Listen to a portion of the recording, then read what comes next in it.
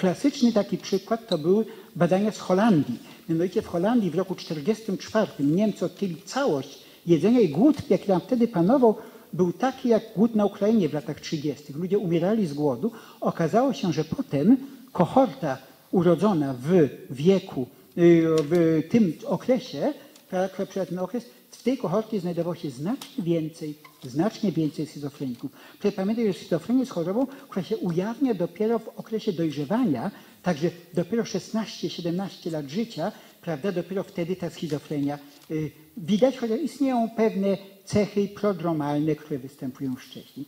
I wreszcie ze stresem, stres psychologiczny, to też były badania z Finlandii, bo jeszcze robiono tak samo badania z grypą w Finlandii i też w prawie wielkiej grypie w Helsinkach, znowu potem, kilkanaście lat potem wysypała się schizofrenia.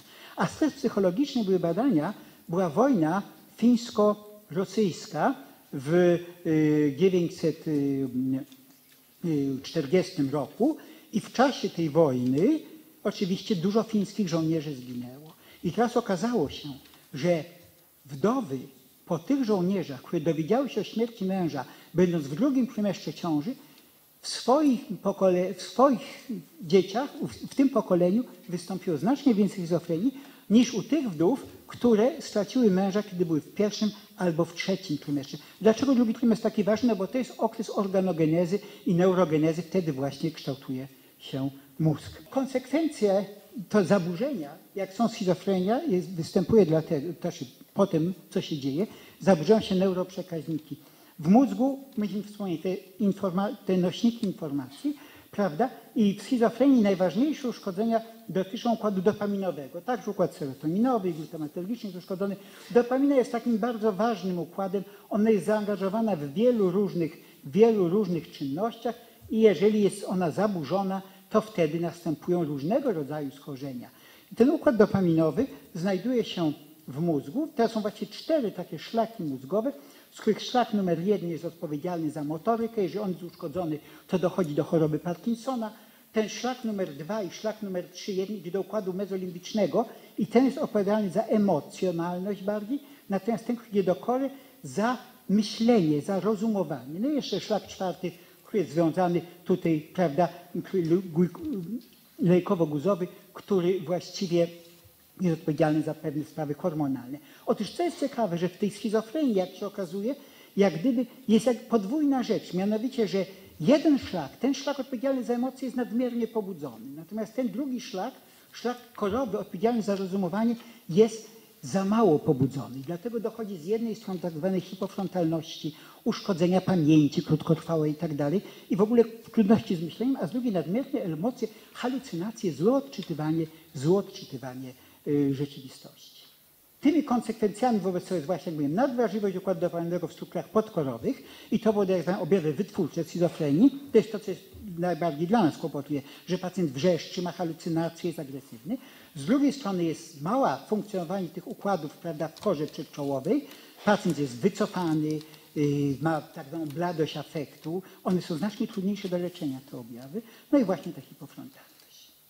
No i co jest dobre jednak, że wprawdzie nie możemy zapowiedzieć schizofrenii, a są w tej chwili różne leki, a cokolwiek by się mówiło złego o lekach psychotropowych, no to jednak efekty jakieś pozytywne chyba widać. Mamy w tej chwili całą gamę różnych leków, prawda, które tutaj y, są sprzedawane przez firmy farmaceutyczne za drogie lub tanie pieniądze i o tym w tej chwili, o tym w tej chwili nie będziemy mówić, ale chciałem zwrócić uwagę, że te nowoczesne leki, zwłaszcza takie jak risperidon, one są naprawdę bardzo, bardzo dobrze działające, prawda, także tak samo sulpiry, tak samo, że mamy w tej chwili do wyboru dużo leków, które bardzo pomagają utrzymać choremu na schizofrenię normalną aktywność życiową pod warunkiem, że tych leków, te leki stale bierze.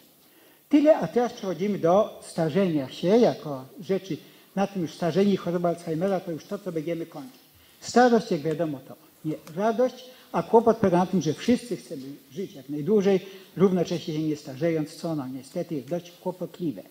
Jedną z cech procesu starzenia jest nagromadzanie się zbędnych substancji. Między innymi tak samo i w mózgu, prawda? Zwłaszcza beta-amyloid i hiperfosforylowane białka tau odkładają się w tkance nerwowej i powodują uszkodzenia neuronów, a zatem uszkodzenia funkcji poznawczej.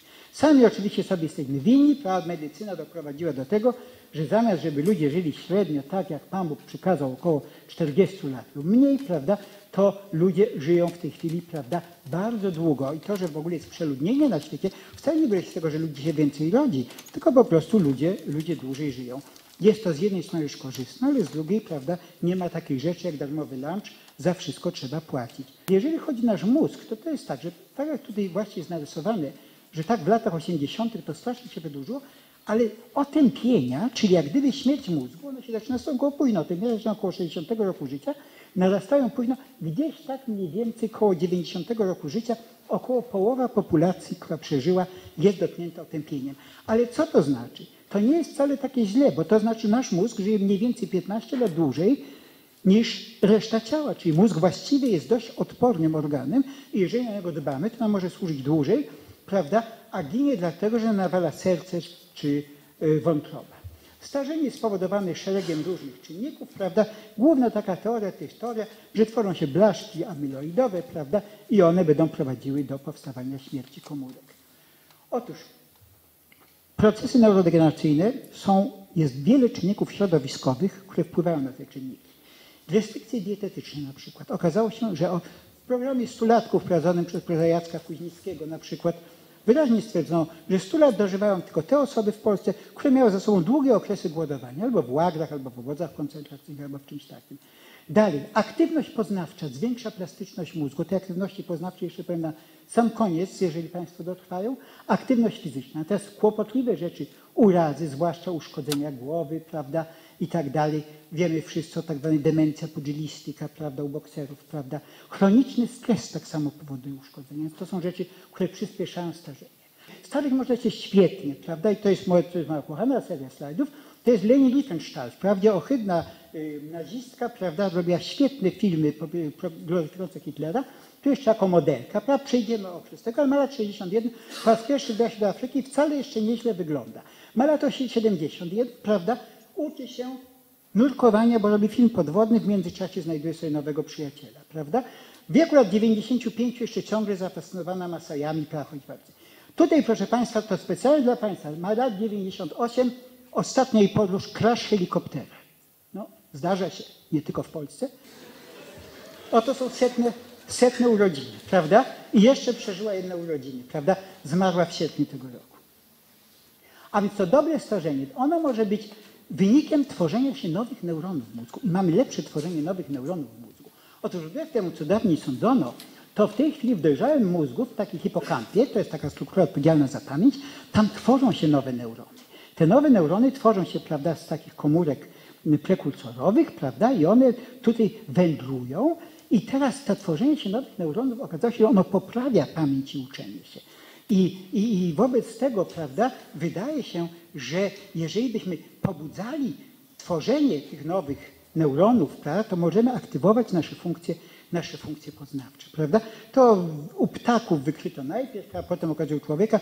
W mózgu każdego z nas, poza takimi w hipokampie, poza starymi neuronami, które już tam mają prawda, 30, 40, 50, 60 lat, prawda, są tak samo zupełnie nowe. Ja sądzę, że mam też takie jakieś półroczne neurony chodzące w hipokampie. Niestety jednak wiele osób starzeje się bardzo źle, prawda? Się ich zespoły otępienne. Najgorsze jest oczywiście choroba Alzheimera, prawda? Złe starzenie jest związane z wymieraniem neuronów. Proszę Państwa, naturalne tempo wymierania neuronów wcale nie jest takie duże. Wprawdzie mózg się zmniejsza, to się zmniejsza dlatego, bo neurony się kurczą, natomiast yy, ich liczba spada stosunkowo niewiele. Ale przy chorobie Alzheimera jest coś gorzej. Otóż już gdzieś od 30 roku życia zaczyna się przyspieszony spadek neuronów. Nasz mózg ma oczywiście straszne możliwości takie yy, kompensacyjne. I dlatego, jeżeli mamy jeszcze 20% neuronów, to my jeszcze mamy, właściwie funkcjonujemy nie najgorzej. No i w końcu znika to i schodzimy do granicy, która już jest granicą wydolności poznawczej i zaczyna się nam otępienie. Ale trzeba jeszcze pamiętać, że zanim nastąpi śmierć neuronów, to w ogóle zanikają zakończenia. Są właśnie takie piękne piękny neuron z dendrytami prawda, w hipokampie, a to są osoby chore na chorobę Alzheimera, więc też to, też to znika. Zaburzenia poznawcze w chorobie Alzheimera są związane ze spadkiem aktywności mózgu. To jest mózg osoby normalnej, chociaż starej, prawda? A to jest mózg osoby chorej na chorobę Alzheimera. Widać wyraźnie znowu, że ta aktywność jest znacznie zmniejszona. I to jest ciekawe, że zanim jeszcze się zobaczy zmiany anatomiczne w mózgu, to już widać obniżenie, zwłaszcza aktywności, zwłaszcza w tych strukturach odpowiedzialnych za pamięć i za czynności poznawcze. Zmniejsza się tak samo objętość hipokampa. Tego samego hipokampa, w którym się właśnie tworzą te nowe neurony, które nam pomagają w lepszym, w lepszym pamiętaniu. No i w efekcie liczba chorych na chorobę Alzheimera będzie stale wzrastać. Są projekcje, jak to wyglądać w Stanach Zjednoczonych. Rzecz dość przerażająca jest to, że olbrzymia ilość z tych 14 milionów, które możemy się spodziewać za 35 lat, to będą osoby, prawda, w wieku powyżej 84 roku życia. A więc tu jest pewne wyzwanie społeczne, na które oczywiście nie wiadomo. No ja sądzę, że ja nie będę już musiał o tym myśleć jako uczony, a może raczej jako pacjent, także tu będzie spokój, prawda? Klasycznie, znaczy ja będę miał spokój. Klasyczny pogląd na genezę choroby Alzheimera to jest to, że to jest choroba neurodegeneracyjna mózgu, a pierwszą ofiarą pada układ cholinergiczny, układ, który używa acetylocholinę jako neuroprzekaźnik. Nie będziemy o tym specjalnie dużo mówić, ale to jest neuroprzekaźnik, który między innymi odpowiada za procesy uwagi, za procesy przywoływania śladów pamięciowych, co jest bardzo częstym objawem. Pierwsze kłopoty z pamięcią, jakie mamy w wieku późniejszym, to jest to, że mamy słowo na końcu języka i nie możemy sobie przypomnieć jakichś rzeczy. Y, ta degeneracja neuronów cholinergicznych będzie powodowała, że spada ilość neuroprzenienia acetylocholiny, a tego skutki są właśnie defekty poznawcze w chorobie Alzheimera. I je można utrzymać, jeżeli się zahamuje rozkład acetylocholiny. Przez pewien przynajmniej czas. I tak działające leki są inhibitory cholinesterazy. Cholinesteraza jest enzymem, która powoduje, że jak acetylocholina, neuroprzekaźnik, wyjdzie do przestrzeni międzysynaptycznej, to tam zostanie rozłożona do substancji działającej. To jest normalnie konieczne. Gdyby ona była, a się akumulowała, byłoby nadmierne pobudzenie i gazy bojowe, na przykład typu sarinu, czy gazy ludobójcze typu tabunu działały właśnie na tej zasadzie, że blokowały acetylcholinesterazę. Natomiast normalnie, ale teraz to zacząć, to jest takie doświadczenie, nie ma nic wspólnego z mózgu, bo to jest doświadczenie na mięśnie, ale pobudziliśmy elektrycznie wygłębia acetylocholina i potencjał płytki skoczył na skutek działania acetylocholiny. Ale jeżeli teraz podamy inhibitor cholinesterazy, proszę się nam bardzo ten potencjał powiększa. I teraz, jeżeli mamy za mało acetylocholiny, to jest to droga do zwiększenia czegoś. I takie to są pierwsze skuteczne leki, do niedawna jedyne leki skuteczne w zwalnianiu choroby Alzheimera, bo nie leczeniu, to właśnie były, to właśnie były właśnie inhibitory cholinesterazy i z trzech leków, które się znajdują na rynku, to najbardziej, prawda, jest taki lek, który będzie blokował nie tylko acetylcholinesterazę, ale tak samo drugi enzym butyrocholinesterazę, ponieważ ta butyrocholinesteraza, inaczej nazywana BUHA-E, ona bierze udział w tworzeniu neurotoksycznych agregatów, o których zaraz mówimy, a mianowicie niszczenie układu cholinergicznego jest wywołane przez to, że się tworzą patologiczne agregaty białek. One tworzą albo blaszki starcze, albo tworzą splątki neurofibrillarne. Tu właśnie widzimy, proszę Państwa, tutaj są splątki, to są takie blaszki. One oba są dla neuronów bardzo szkodliwe. To jest taka już wizja artysty, jak blaszki przysiądą na końcu neuronu, zaczynają się różnego rodzaju procesy zapalne, zmniejsza się ilość neuroprzekaźnika w neuronie. Tak samo neurony poza blaszkami są niszczone właśnie przez te splątki. Splątki są hiperfosforylowane białka tau. Pokażemy, ale nie będziemy starali się tego zapamiętać, prawda? One w każdym razie, to są takie, jak one się rozrastają z kolei w zakończeniu. One są czerwono. Tu mam takie zakończenie w pierwszym stadium, prawda, jest tylko troszeczkę. Coraz więcej się zbiera tych białek tau. W czwartym stadium dochodzi do rozpadu neuronu. Ludzie w ogóle się zastanawiali, co jest ważniejsze dla rozpadu y, świadomości, czy białka tau, hiperfosforylowane, czyli splątki, czy blaszki. W tych nie wiadomo dokładnie, ciągle się sprawdzają, obie się zmieniają mniej więcej w równoległy sposób. Im więcej mamy, prawda, im bardziej zaangażowana jest tutaj ta opatia, tym też więcej mamy beta-amyloidu. Roz... I ta tak jest takim neuronem. No, tutaj mamy normalny neuron, prawda? Przy... Zaczyna się tutaj odkładać beta-amyloid, to zainteresuje komórki reaktywnego mikrogleju, którego przychodzi coraz bardziej i w końcu to te wszystkie komórki tu rozbijają zakończenie, a co ważniejsze tutaj w samym środku w neuronie, tutaj będzie się tworzyło jeszcze ten splątek neurofibrillarny. No i tak mniej więcej wygląda, wygląda tak już zepsuty neuron. Co jest ciekawe, że bardzo wiele struktur tutaj zawiera właśnie tą butylochoinesterazę. To wszystko dlatego, żeby powiedzieć, że proszek A jest lepszy od proszku B, czyli że lek, który blokuje butylochoinesterazę, teoretycznie powinien być znacznie lepszy od leku, który tego nie blokuje. Ten schemat ma tylko pokazać Państwu, że jest tak. Z jednej strony te białka tau. Białka tau się znajdują wewnątrz w neuronie, tutaj. One są po prostu hiperfosforylowane i tworzą te splątki neurofibrylarne. Te splątki jak gdyby blokują transport w neuronie i blok tego transportu w neuronie powoduje, że neuron ginie. Natomiast druga sprawa to jest ten beta-amyloid. To jest rzecz o tyle ciekawa, że to jest białko, prekursorowe białko znajduje się w wszystkich komórkach w organizmie i jest niesłychanie konieczne dla organizmu. Teraz to wiemy od trzech lat, mianowicie, że jego wewnętrzna część jest potem czynnikiem transkrypcyjnym, który służy do regulowania metabolizmu wapniowego w komórce. Natomiast to samo białko może być normalnie we wszystkich komórkach, jest cięte przez jeden enzym, przez enzym zwany alfa-sekretazą i wszystko jest w porządku, natomiast może być cięty przez beta-sekretazę i to jest źle. Ten schemat po prostu pokazuje. Alfa-sekretaza, która występuje prawie wszędzie, tak tnie to białko prekursorowe, że ta część białka prekursorowego tutaj, która tu jest na czarno i która będzie stanowiła podstawę tworzenia beta-amyloidu, jest rozcięta i nic złego się nie może dziać. Natomiast beta-sekretaza będzie tak cięła, że coś tutaj powstanie. Jest to bardzo ważne dlatego, bo chciałem powiedzieć, że my sądzimy, że aktywność intelektualna nasza dlatego jest wspomagana pracą, znaczy brak starzenia się wspomagany pracą intelektualną właśnie dlatego, że w jakiś sposób blokujemy tworzenie beta-sekretazy. Prawda? No i mamy tutaj ta beta-sekretaza naputnie, potem gamma docina, tworzy się taki agregat i ten agregat robi mnóstwo różnego rodzaju kłopotów.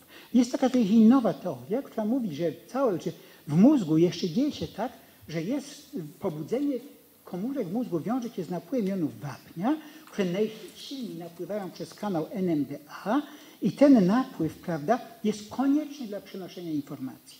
Ale teraz, prawda, yy, są się ślady pamięciowe, prawda, natomiast jeżeli tego białka, tego wapnia jest za wiele, to wtedy może prowadzić to do kłopotliwych bardzo sytuacji.